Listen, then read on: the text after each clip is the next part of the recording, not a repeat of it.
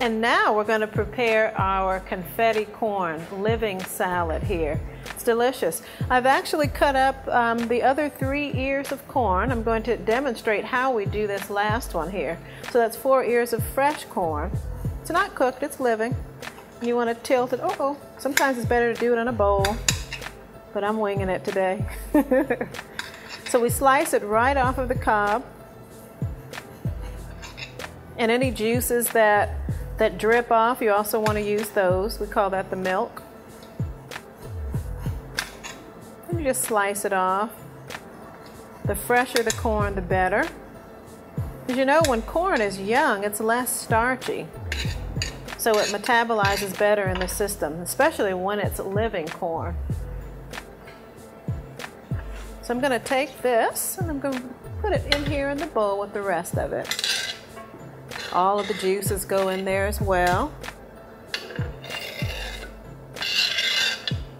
There we are. Set this aside.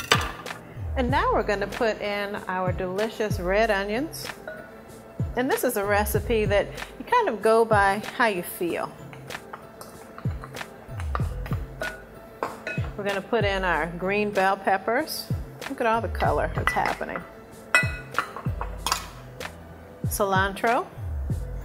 You want to make sure that you stick with the leaves and get rid of the stems and the cilantro. And our fresh red tomato. Look at that color.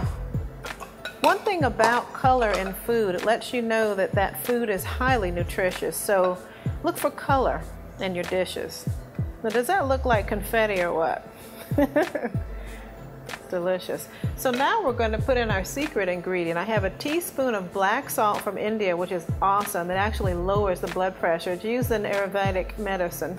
I also have a tablespoon of chili powder and a tablespoon of garam masala, which is a mixture in India. So this is kind of a fun, spicy raw salad.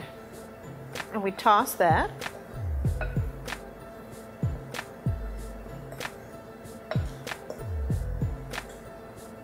And you can smell the aroma. That black salt is very pungent. It kind of has a sulfuric type aroma. But that sulfur is excellent for the skin, the hair, the nails.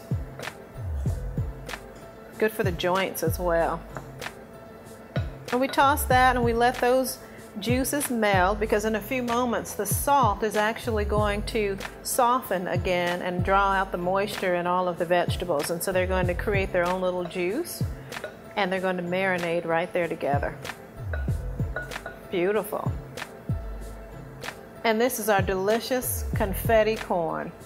Fresh living food, healthy.